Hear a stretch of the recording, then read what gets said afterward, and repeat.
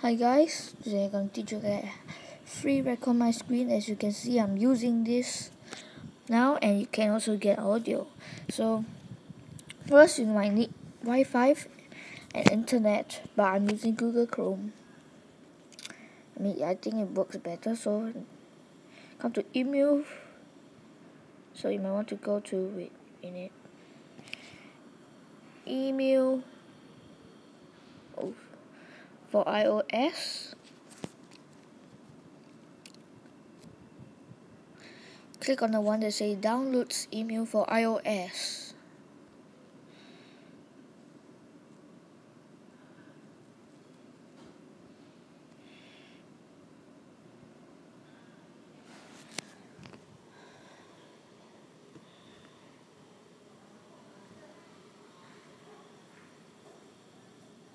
Wait for it to load.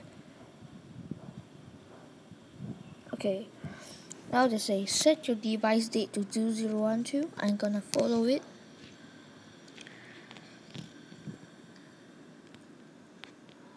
Okay. But I'm not gonna set it because as you can see I already have my record screen. So um I just show you what you can gonna do. So you have to set your device back Set your device date to 2012. Install the selected app using drop-down box. See? Choose your application. Let's say I want record screen. Wow. So, but I record screen has no audio, but record my screen has audio. I download the record my screen. After that, sorry, click install but I'm not gonna install since I is install. After that it will start downloading and it will become like this. And most importantly you have to put your setting back to 2013 after this you see we are ready. So please subscribe and thanks.